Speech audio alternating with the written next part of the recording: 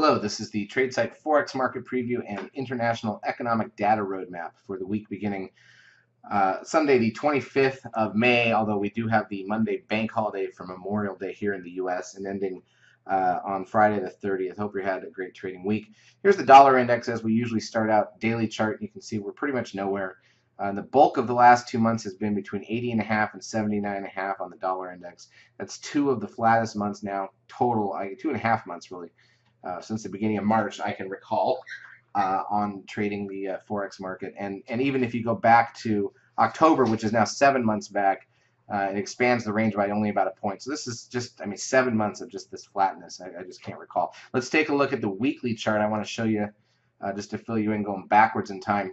So that's this area right here. You know, meanwhile, we had a little bit better range prior to that where we'd have about five points, and that would be a huge difference, by the way. Here's five points of movement from last uh, January through July and some back and forth. And you know, generally speaking, if you pick a six-month grouping of of the dollar index, most of the time you're going to have uh, four or five points of range, and, and that's certainly is tradable. Sometimes even better than that. If you go back uh, to the beginning of this chart, you can see uh, even in a six-point or six-month range, we went uh, nine points up and back to form that spike. You'll also notice that in July of 2012, we had that's the only uh, seeker signal on the entire chart. This is four years or so of data and uh, Seeker 13 that called the high right there and we rolled over and we still have a red static trend line from that in play that means if we ever do break to the downside uh, that would be the target and then let's back out and go to a monthly chart and you can see this goes back to the mid 90s here so a lot of movement uh, over time but this is a narrowing triangle wedge now if you look at it carefully uh, since uh, about 2005, and at some point we should break that either way.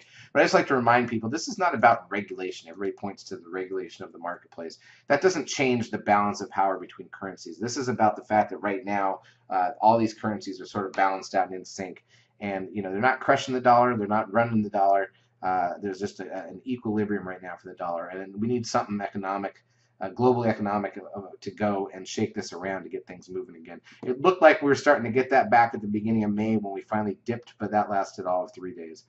Uh, so, having put that in that perspective, let's take a look at the euro dollar. Slipped a little bit this week, 120 pips of range, as you'll see when we get to the intraday charts. The pound dollar, even worse, nothing here.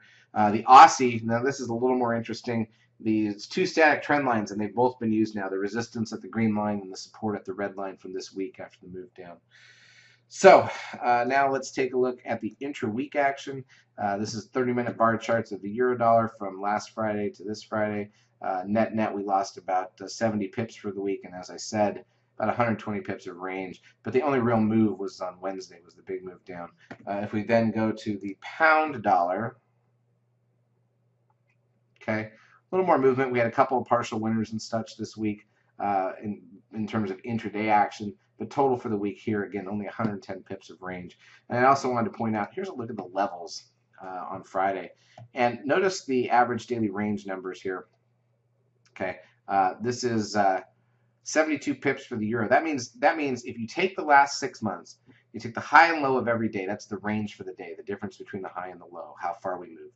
And if you add up all the days ranges for the last six months and divide by the number of days, you get 72 pips uh, per day. That would be so. If it goes 72 pips now, it has traded the average of the last six months, 88 on the pound.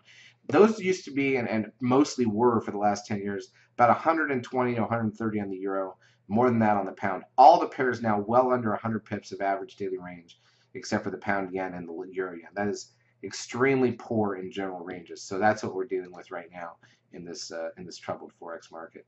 Uh, all right, let's take a look at economic data that's due this week, uh, and then we'll wrap it up. So. Uh, trade balance out of New Zealand Sunday. Uh, we got a bank holiday out of the UK. We've got a bank holiday here in the US for Memorial Day. So no calls for us for Sunday night. We will have levels. Uh, going into Tuesday, trade balance out of Switzerland, their employment level, corporate profits out of Canada Tuesday morning, durable goods out of the U.S., uh, the HPI and other data out of the U.S. here, minor data. Flash services PMI later on out of the U.S. Consumer confidence, that's a big number for stocks, but not really for Forex. Uh, MI leading index out of Australia, New Zealand's business confidence number. Um, going into Wednesday, GDP out of Switzerland, the UBS consumption indicator, German import prices, French consumer spending, German unemployment, uh, money, supply, money supply out of Europe, private loans out of Europe, Spanish HPI, Uh, got the German 30-year bond auction, retail sales out of Japan, HIA new home sales out of Australia, private capital expenditure out of Australia. Uh, we've got a bank holiday Thursday throughout most of Europe. Be aware of that. That'll slow things down there.